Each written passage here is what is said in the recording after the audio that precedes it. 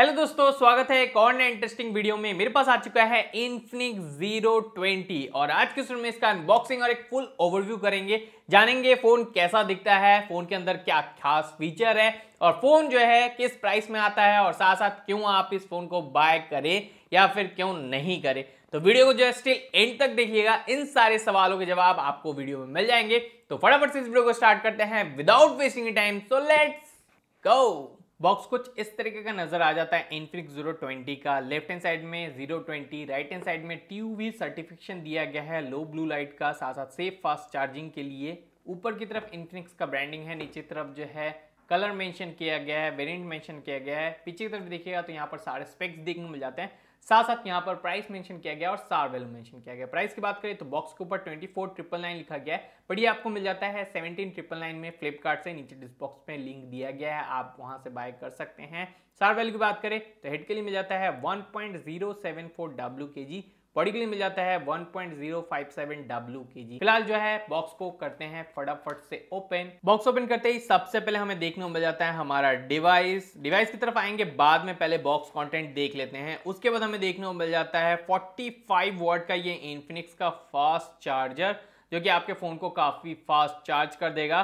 Then हमें देखने को मिल जाता है यूएसबी टाइप सी केबल जिससे आप जो अपने फ़ोन को चार्ज कर सकते हैं। उसके बाद हमें देखने को मिल जाता है सेमी इजेक्टर टूल उसके बाद देखने को मिल जाता है यूज़र मैनुअल गाइड। और एक डॉलर का नोट जो कि आप यहाँ पर इन्फिनिक्स एक्स क्लब मेंबरशिप के लिए यूज़ कर सकते हैं। देन हमें एट द लास्ट कवर देखने को मिलता है, जो कि सिलिकॉन केस है, काफ़ी अच्छी क्वालिटी का केस है। फ़ोन पे जो है लगाकर आप जो है फ़ोन को पहले दिन से इस्तेमाल कर सकते हैं और जो है बॉक्स के अंदर में कुछ खास देखने को नहीं मिलता है। फ़ोन की बात करें तो नो डाउट फ़ोन देखने में प्रीमियम नज़र आ जाता है। बैक आपको जो है ग्लास्टिक टाइप का फिनिश देखने को मिलता है। मतलब प्लास्टिक नहीं है ग्लास जैसा यहाँ पर जो है बनाया गया है। मैट फिनिश में है, इस वजह से यहाँ पर जो है फिंगरप्रिंट वगैरह इजीली ये कैच नहीं करता है। और साइड फ्रेम की बात करें तो ये जो है मेटल फ्रेम दिया गया आपको साइड में, जो कि ग्लॉसी पेंट के साथ आता है बॉक्सी डिज़ाइन के साथ कुछ इस तरीके का आपको जो है साइड्स देखने को मिल जाता है। बाकी कैमरा बम्प यहाँ पर जो है थोड़ा निकला हुआ है बट कवर लगाकर यहाँ पर कैमरा बम्प को आप जो है बड़े आराम से छिपा सकते हैं। पोर्ट्स की बात करें तो नीचे की तरफ़ मिल जाता है आपको 3.5 ऑडियो जैक प्राइमरी माइक देखने मिलता है प्राइमरी स्पीकर देखने मिल जाता है सी टाइप पोर्ट दिया गया है लेफ़्ट हैंड साइड में आपको सिम ट्रे दिया गया है, जहाँ पर एट ए टाइम आप दो सिम कार्ड और एक मेमोरी कार्ड का इस्तेमाल कर सकते हैं, जो कि काफ़ी अच्छी बात है। राइट हैंड साइड में आपको वॉल्यूम बटन देखने मिलता है पावर बटन देखने मिलता है और पावर बटन में ही आपको जो है फिंगरप्रिंट स्कैनर देखने को मिल जाता है। ऊपर की तरफ़ यहाँ पर आपको सेकेंडरी नॉइस कैंसिलेशन माइक देखने को मिलता है साथ साथ सेकेंडरी स्पीकर भी देखने को मिल जाता है। बाकी जो है स्क्रीन गार्ड यहाँ पर जो है, आपको प्री एप्लाइड देखने को मिलता है फ़ोन के ऊपर। डिस्प्ले की बात करें तो 6.7 इंच का full H D AMOLED ninety hertz display दिया गया है। डे लाइट में जो है, काफ़ी अच्छे तरीके से विजिबल हो जाता है। ब्राइटनेस काफ़ी अच्छा यहाँ पर जो है, दिया गया है। इनफैक्ट वीडियोज़ वगैरह आप इस फ़ोन में देखिएगा तो आपको काफ़ी अच्छा लगेगा, क्योंकि बेजल्स आप देखिएगा काफ़ी कम दिया गया है। इवन यहाँ पर जो नीचे का चिन्ह है, वो भी जो है आपको सिमिलर देखने को मिलता है, ऊपर के चिन्ह जैसा। तो यहाँ पर एक तरह का आपको जो है सिमिलर बेजल देखने को मिल जाता है, जिस वजह से वीडियो वगैरह अगर आप इसमें इंजॉय करते हैं, काफ़ी अच्छे तरीके से यहाँ पर जो है इंजॉय कर पाएगा। स्टीरियो स्पीकर होने की वजह से यहाँ पर साउंड भी जो है काफ़ी अच्छा है। आप यहाँ पर जो है सुन लीजिए।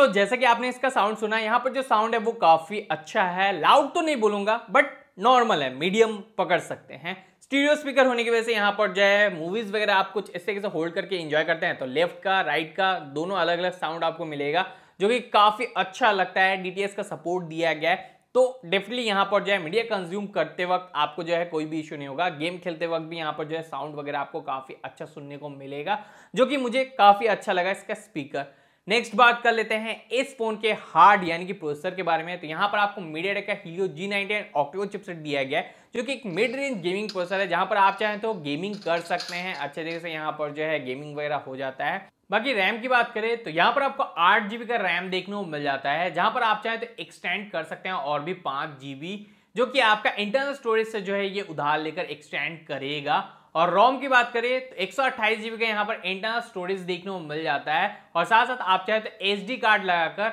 अपने स्टोरेज को एक्सपेंड कर सकते हैं। बैटरी की बात करें तो इस फ़ोन में आपको 4500 थाउज़ेंड और बैटरी दिया गया है। 45 वॉट का फास्ट चार्जर बॉक्स में प्रोवाइड करवाया जाता है। जल्दी मेरे चैनल पे चार्जिंग टेस्ट अवेलेबल हो जाएगा तो चैनल को सब्सक्राइब कर लीजिएगा। Day to day life users के लिए ये फ़ोन काफ़ी बढ़िया है। नॉर्मली यहाँ पर जो है काफ़ी अच्छे तरीके से वर्क करेगा। कोई भी लैक फ्रेम ड्रॉप देखने को नहीं मिलेगा, क्योंकि मीडिया टेक जी जो है काफ़ी टेस्टेड प्रोसेसर है। और मैंने इस टाइप का फ़ोन काफ़ी सारा जो है रिव्यू किया हुआ है। और एक भी फ़ोन में कोई भी इशू हमें देखने को नहीं मिला। हाँ यहाँ पर जो प्रोसेसर है, वो थोड़ा अपग्रेड हो सकता था। यहाँ पर एटलीस्ट 5G प्रोसेसर देना चाहिए था। ये फ़ोन जो है 4G नेटवर्क के साथ आता है। एटलीस्ट यहाँ पर जो है 5G होना चाहिए था, क्योंकि अभी 5G आ रहा है। बट यहाँ पर जो है 5G नहीं दिया गया। उसका भी एक जो है प्लस पॉइंट आप पकड़ सकते हैं, क्योंकि 5G जितने भी मैंने जो है टेस्ट वगैरह किया है, अभी कोलकाता में 5G उतने अच्छे तरीके से आया नहीं, और जहाँ पे भी आया है, अगर मान लीजिए आप एक स्पीड टेस्ट करते हैं 5G का तो वहाँ पर करीब आपका जो है 100 से 150 एम जो है गायब हो जाता है। सिर्फ़ स्पीड टेस्ट करने का मतलब स्पीड इतना ज़्यादा है 5G का जो आप कुछ भी ओपन कीजिएगा ना, फटाफट करके आपका इंटरनेट डेटा जो है वो गायब हो जाएगा। तो मे बी जो है जो लोग 5G वगैरह जो है फ़ोन लिए हुए हैं, वो काफ़ी कम ही यूज़ करेंगे 5G ज़्यादातर 4G रिचार्ज करेंगे क्योंकि 5G जो डेटा एक जी का फटाफट उड़ता जाएगा और 5G जब लॉन्च करेगा, पता नहीं क्या प्राइस में लॉन्च होगा। अभी फ़िलहाल जो है 4G फ़ोन ठीक है बाकी इसका जो की हाईलाइट है, वो है इसका फ्रंट कैमरा 60 मेगापिक्सल का आपको सेल्फी कैमरा देखने को मिलता है। ओआईएस के साथ ऑप्टिकल स्टिमुलेशन दिया गया। साथ साथ यहाँ पर आपको जो है फ्रंट फ्लैश भी देखने को मिल जाता है। साथ साथ रियर में आपको ट्रिपल कैमरा सेटअप देखने को मिलता है। 108 मेगापिक्सल का प्राइमरी लेंस दिया गया। है थर्टीन मेगापिक्सल का वाइड एंगल लेंस देखने को मिल जाता है और एक डेप्थ सेंसर आपको देखने को मिलता है। साथ साथ क्वाड एलईडी फ्लैश दिया गया है। बाकी यहाँ पर जो कैमरा काफ़ी बढ़िया है। पहले आप जो है वीडियो सैंपल देख लीजिए। अभी जो आप ये वीडियो देख पा रहे हैं, इसे मैं थाउज़ेंड एटी पी थर्टी पे इसके फ्रंट कैमरा से रिकॉर्ड कर। रहा हूँ कुछ इस तरह का वीडियो क्वालिटी आपको देखने को मिलेगा। स्टिबलेशन मैंने अभी ऑन नहीं किया है तो यहाँ पर जो फुटेज है, वो आपको हल्का फुल्का शेक नज़र आ जाएगा। बाकी यहाँ पर जो है डायनेमिक रेंज काफ़ी बढ़िया है। बैकग्राउंड भी जो है कितना कैप्चर कर रहा है आपकी देख पा रहे होंगे। अब मैं स्विच करता हूँ सिक्सटी पे। अभी जो आप ये वीडियो देख पा रहे हैं, इसे मैं थाउज़ेंड एटी पी सिक्सटी पे रिकॉर्ड कर रहा हूँ और यहाँ पर जो है स्टेबलेशन शायद thousand eighty P sixty F पर नहीं है तो मैं आपको जो है थोड़ा चल के दिखा रहा हूँ जिससे आपको आइडिया हो जाएगा यहाँ पर जो है thousand eighty P sixty F पे ये जो है स्टेबलाइज रहता है या नहीं। सो so, अब जो आप ये वीडियो देख पा रहे हैं यहाँ पर मैंने स्टेबलेशन को ऑन कर दिया है और बाय डिफ़ॉल्ट ये जो है स्टेबलेशन ऑन होते ही थर्टी एफ़ पे स्विच हो जाता है। सिक्सटी एफ़ पे यहाँ पर स्टेबलेशन जो है ऑन नहीं होता है और अब आप देख पा रहे होंगे फुटेज कितना स्टेबलाइजेशन मैं चल कर जो है आपको थोड़ा सा दौड़ कर यहाँ पर जो है वीडियो दिखा रहा हूँ तो आपको आइडिया हो जाएगा इसका स्टेबलेशन कैसा है। हालाँकि फ्रंट कैमरा में इसका ओ दिया गया है तो यहाँ पर जो है स्टेबलेशन ऑन करती है हल्का सा वीडियो क्रॉप हो जाता है मतलब थोड़ा सा अगर आप देखिएगा नॉर्मल फुटेज के मुकाबले यहाँ पर थोड़ा सा क्रॉप हो गया है तो ये वाला थोड़ा सा है स्टेबलेशन ऑन करते ही थोड़ा सा क्रॉप हो जाता है। अब जो आप ये वीडियो देख पा रहे हैं, इसे मैं इसके रियर कैमरा से रिकॉर्ड कर रहा हूँ, यहाँ पर मैंने स्टेबलेशन को ऑन कर दिया है thousand eighty P thirty F पे रिकॉर्ड हो रहा है thousand eighty P thirty F पे आपको स्टेबलेशन मिलेगा तो कुछ इस तरीके का आपको जो है फुटेज देखने को मिल रहा होगा, यहाँ पर जो है स्टडी है अच्छा है बाकी जो है फोकस को चेक करते हैं यहाँ पर। तो फोकस यहाँ पर जो है काफ़ी अच्छा है, देखिए काफ़ी स्मूथ है। ये देखिए फोकस काफ़ी अच्छा है और इवन कलर भी जो है आपको काफ़ी हद तक नेचुरल देखने को मिल रहा है, जो कि मेरे हिसाब से यहाँ पर जो है काफ़ी सही है। अब ये जो आप वीडियो देख पा रहे हैं, इसे मैं thousand eighty P sixty F पे रिकॉर्ड कर रहा हूँ, देख पा रहे होंगे। वीडियो क्वालिटी कितना ज़्यादा स्मूथ हो जाता है सिक्सटी एफ़ में रिकॉर्ड करते हुए बट सिक्सटी एफ़ पे आपको स्टेबलेशन देखने को नहीं मिलता है। तो यहाँ पर मैं मूव कर रहा हूँ तो आपको जो है शेक भी नज़र आ जाएगा। इवन अगर आप नोटिस कीजिएगा, यहाँ पर जो है सन है और आसपास के एरिया को देखिए ब्लैक नहीं कर देता है। विजिबिलिटी काफ़ी बढ़िया है और सन को भी काफ़ी अच्छे तरीके से जो है वीडियो में ले रहा है। तो ये चीज़ जो है इसका काफ़ी अच्छा है। फोकस को चेक करते हैं, सिक्सटी एफ़ पे कैसा है। तो सिक्सटी एफ़ पे अगर देखिएगा तो फोकस स्लो है। ये देखिए जो कि थर्टी एफ़ पे काफ़ी फास्ट फोकस ले रहा था। सिक्सटी एफ़ पे फोकस, थोड़ा स्लो काम कर रहा है। अब जो आप ये वीडियो देख पा रहे हैं, ये मैं इसके वाइड एंगल कैमरा से रिकॉर्ड कर रहा हूँ और यहाँ पर वाइड एंगल कैमरा में आपको 60 एफ़ का ऑप्शन देखने को नहीं मिलता है बट 30 एफ़ पे आपको स्टेडी मोड देखने को मिल जाता है। मतलब स्टेबलाइजेशन वीडियो आपको मिल जाता है, कुछ इस तरीके का। और कलर की बात करूँ और यहाँ पर वीडियो क्वालिटी की बात करूँ तो आपको नॉर्मल कैमरा जैसा ही यहाँ पर कलर और वीडियो का क्वालिटी देखने को मिल जाता है थर्टी पी में, जैसे कि आप यहाँ पर देख पा रहे हैं। एक बार जो फोकस को भी चेक कर लेते हैं फटाफट से। तो ये देखिए यहाँ पर जो है फोकस भी इसका काफ़ी बढ़िया है, ये देखिए। फोकस भी इसका जो है काफ़ी स्मूथ है थर्टी एफ़ पे। सिक्सटी एफ़ पे जो है नॉर्मल कैमरा का फोकस उतना खास अच्छा नहीं था बट थर्टी एफ़ पे जो वाइड एंगल हो नॉर्मल कैमरा हो दोनों में काफ़ी अच्छा वर्क कर रहा है। सो वीडियो सैंपल आपने देख लिया होगा, यहाँ पर जो है thousand eighty P sixty F पे ये रिकॉर्ड कर सकता है टू के थर्टी एफ़ पे भी रिकॉर्ड कर सकता है। बट यहाँ पर आपको thousand eighty P sixty F पे जो है कोई भी स्टिबलेशन देखने को नहीं मिलेगा। वाइड एंगल कैमरा में आप thousand eighty P sixty F पे रिकॉर्ड नहीं कर पाएगा। वहाँ पर आपको जो है thousand eighty P thirty F पे ही काम चलाना पड़ेगा। बाकी नॉर्मल जो है मेन कैमरा से आप thousand eighty P sixty F और फ्रंट कैमरा से भी thousand eighty P sixty F पे रिकॉर्ड कर सकते हैं। ब्लॉगिंग वगैरह के लिए काफ़ी बढ़िया है स्टिबलेशन यहाँ पर आपको मिल जाता है। फ्रंट कैमरा में तो ओआईएस मिलता है आपको। बाकी यहाँ पर जो है बात करते हैं इमेजेस की। तो ये आप इमेज देख पा रहे होंगे। इससे मैंने जो है इसके रियर कैमरा से कैप्चर किया है। डिटेल्स में अगर जाते हैं तो 29.1 एमबी यहाँ पर शो कर रहा है। क्योंकि मैंने 108 मेगापिक्सल को एनेबल किया हुआ था। अब यहाँ पर जो है जूम करते हैं। असली टेस्ट तो जूम में होगा। तो ये देखिए, यहाँ पर जो है, ये फ़ैन है। ये आपको क्लियर नोटिस हो रहा होगा और ये काफ़ी जो है, ज़्यादा जूम भी होता है। और यहाँ पर एक डिश है। अगर मैं इसको जूम करता हूँ तो ये देखिए, यहाँ पर टाटा जो लिखा हुआ है, वो आपको क्लियरली जो है नोटिस हो रहा है। अब यहाँ पर जो है सेम इमेज है। बस मैंने यहाँ पर जो 108 मेगापिक्सल को ऑफ़ कर दिया था। 4.3 एमबी इसने कैप्चर किया हुआ है। और अगर मैं इसको जूम करता हूँ तो यहाँ पर देखिए, आपको जो है टाटा लिखा हुआ मिलेगा बट क्लियरिटी उतना खास आपको देखने को नहीं मिलेगा जितना 108 मेगापिक्सल बोलने का मतलब ये है कि यहाँ पर दोनों images kind of similar capture हो रहा है। थोड़ा बहुत का फ़र्क रह रहा है। पिक्सल बाइंडिंग टेक्नोलॉजी यूज़ होता है तो भाई थोड़ा बहुत का ही फ़र्क है। और अगर आप 108 मेगापिक्सल इनेबल करके हमेशा इमेज कैप्चर कीजिएगा ना तो आपका जो है मेमोरी काफ़ी जल्दी फुल हो जाएगा। तो नॉर्मली जो है इमेज काम चलाइए, काफ़ी बढ़िया। बाकी इमेज जो है फ़ोटोज़ वगैरह, ये काफ़ी बढ़िया कैप्चर करता है। फ्रंट कैमरा सेल्फी की बात करें तो ये काफ़ी बढ़िया है। ये जो आप सेल्फी देख पा रहे होंगे इससे मैंने जो है आपका 60 मेगापिक्सल को इनेबल करके कैप्चर किया और क्लियरिटी देखिए, मेरे जो है एक एक जो है ये बियर्ड के जो है हेयर को क्लियरली दिखा रहा है। और उसके बाद यहाँ पर नॉर्मल वाला है। इसमें देखिए 3.6 पॉइंट यहाँ पर जो है यूज़ किया है इसने। और अगर मैं इसको दिखाऊँ तो यहाँ पर भी आपको क्लियरिटी नज़र आएगा बट उतना खास आपको जो है क्लियरिटी देखने को नहीं मिलेगा। बाकी यहाँ पर पोर्ट्रेट सेल्फी भी ये काफ़ी बढ़िया कैप्चर करता है। अगर आप देखिए ओएस होने की वजह से यहाँ पर जो है एज डिटेक्शन इसका काफ़ी अच्छा आता है। ये देखिए यहाँ पर जो है ईयर की तरफ़ देखिएगा तो यहाँ पर काफ़ी बढ़िया एज डिटेक्शन इसने किया हुआ है। ये देखिए। हेयर्स को अगर ले लीजिए तो यहाँ पर जो है पोर्ट्रेट सेल्फी का एज डिटेक्शन इसका काफ़ी बढ़िया है। ये नेक्स्ट सेल्फी है। ये देखिए यहाँ पर जो है कितना अच्छे तरीके से इसने जो है क्या हुआ। इवन आप यहाँ पर सेल्फी के एपर्चर वगैरह को कम कर सकते हैं। उसके बाद यहाँ पर जो है नॉर्मल सेल्फी वगैरह काफ़ी बढ़िया आ जाता है। ये जो है कुछ normal sample wide angle sample की बात करें तो ये देखिए यहाँ पर जो है नॉर्मल सैंपल है। अगर इसके कलर को नोटिस कीजिएगा तो ये ऑरेंज कुछ इस तरीके का है। और अगर मैं वाइड एंगल में जाता हूँ तो यहाँ पर देखिए यहाँ पर ऑरेंज एकदम सिमिलर टाइप का आपको जो है यहाँ पर कलर मिल जाता है। कुछ खास ज़्यादा फ़र्क नहीं पड़ता है कलर के मामले में। वाइड एंगल यहाँ पर जो है काफ़ी बढ़िया इमेजेस ये कैप्चर करता है। बाकी पोर्ट्रेट्स की बात करें तो ये देखिए, ये पोर्ट्रेट जो है काफ़ी अच्छा आया है। यहाँ पर मैंने कैमरा का जो है पोर्ट्रेट लिया था और यहाँ पर जो है मैंने मोबाइल के जो है बक्से का पोर्ट्रेट लिया था और ये वाला जो सैंपल शॉट है, ये काफ़ी अच्छा आया है।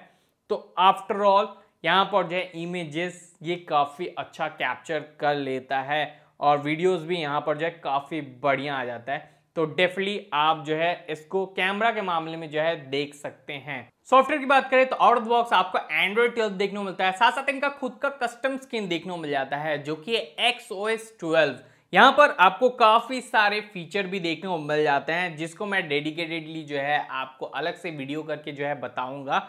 बाकी, अगर बात करें यहाँ पर सॉफ्टवेयर अपडेट के मामले की तो यहाँ पर आपको जो है थर्टीन मिल जाएगा अपडेट एक अपडेट जो है प्रॉमिस किया गया है। साथ साथ दो साल का आपको सिक्योरिटी अपडेट भी मिलेगा। जी हाँ यहाँ पर जो है इन्फिनिक्स ने बताया हुआ है ऑफिशियली कि दो साल का सिक्योरिटी अपडेट आपको इस फ़ोन में मिल जाता है। साथ साथ एक जो है एंड्रॉयड अपडेट आपको मिलेगा। यानी कि एंड्रॉयड थर्टीन यहाँ पर इस फ़ोन में आपको जो है अपग्रेड मिल जाएगा, जो कि काफ़ी अच्छी बात है। किकबिन स्कोर की बात करें तो सिंगल कोर में स्कोर किया है 551 मल्टी स्कोर में स्कोर किया है 1809 सेंसर्स की बात करें तो इस फ़ोन में आपको हर तरह का सेंसर देखने को मिल जाता है। टेम्परेचर मैग्नेटिक एक्सोमीटर जायरो साथ साथ light proximity gravity step counting हर तरह का सेंसर दिया गया है। सेंसस के मामले में यहाँ पर जो है कोई भी कंजूसी नहीं किया गया है। वाइड वन सिक्योरिटी लेवल की बात करें तो यहाँ पर L1 का सपोर्ट दिया गया है। Amazon नेटफ्लिक्स वगैरह में फुल एचडी कंटेंट का मज़ा बड़े आराम से आप उठा पाएँगे। कैमरा टीपी की बात करें तो जी हाँ यहाँ पर आपको कैमरा टीपी का भी सपोर्ट देखने को मिल जाता है। मल्टी टच की बात करें तो ये फ़ोन जो है at a time five multiple touch को ही सपोर्ट करता है। टेन होता तो काफ़ी बढ़िया होता।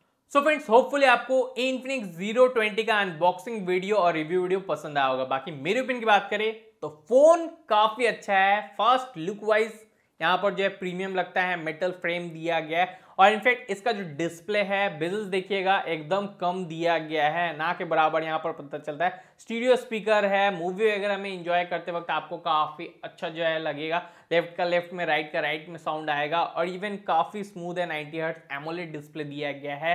साइड माउंटेड फिंगरप्रिंट स्कैनर काफ़ी फास्ट वर्क करता है। आप जस्ट टच कीजिए और ये ओपन हो जाता है। फेस अनलॉक भी इसका जो है काफ़ी अच्छे तरीके से वर्क करता है। जस्ट यहाँ पर फेस को लाइए। थोड़ा सा यहाँ पर जो है टाइम लगता है बट यहाँ पर जो है दोनों अच्छे तरीके से वर्क करता है। तो सिक्योरिटी के मामले में भी कोई इशू नहीं है। दो साल का आपको सिक्योरिटी अपडेट मिलेगा, साथ साथ एक एंड्रॉइड अपडेट भी आपको मिलेगा। एंड्रॉइड ट्वेल्व पे आता है एंड्रॉइड थर्टीन आपको मिल जाएगा। और यहाँ पर जो कमी है, वो है फाइव यहाँ पर नहीं दिया गया है।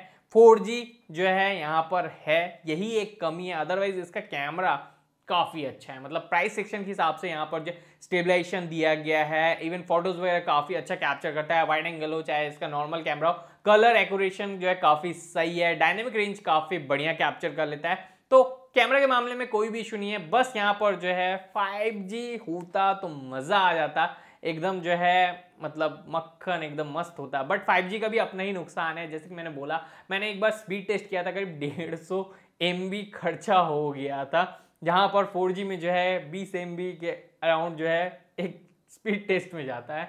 तो ये थोड़ा सा डिसअपॉइंटेड वाला बात है। बाकी ठीक है अपना अपना प्रेफर पड़ता है। जब 5G लॉन्च होगा तो क्या प्राइस में लॉन्च होगा? इस हिसाब से जो है, लोग फ़ोन बाय करेंगे 4G में या फिर 5G में। जनरली 5G फ़ोन जब भी लॉन्च हो रहा है, वो तो अभी सस्ते सस्ते में मिल जा रहा है। बट 5G डेटा का क्या प्राइस होगा, वो अभी तक हमें आइडिया नहीं है। मे भी फाइव डेटा का प्राइस फोर से ज़्यादा ऑब्वियसली होगा ही।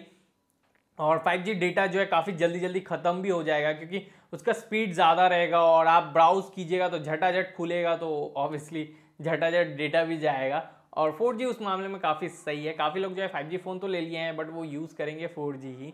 तो ठीक है भाई, ये आपके चॉइस के ऊपर डिपेंड करता है बट 5G होता तो ठीक रहता। मेरा ओपिनियन ये है। बाकी होपफुली आपको ये वीडियो पसंद आया होगा और आपको ये वीडियो कैसा लगा नीचे कमेंट स्क्रीन में कमेंट करना बिल्कुल मत भूलिएगा। और साथ साथ वीडियो पसंद आता है तो वीडियो को ज़रूर से लाइक कर दीजिएगा। चैनल को सब्सक्राइब करके बेल आइकन को प्रेस करके ऑल पे क्लिक दिया। बाकी मिलते हैं आपके साथ नेक्स्ट वीडियो में नेक्स्ट कॉन्टेंट के साथ। तब तक लिए टाटा बाय बाय और यूँ हँसते रहिए, मुस्कुराते रहिए और बनी रहिए आरजे टेक्निकल के साथ।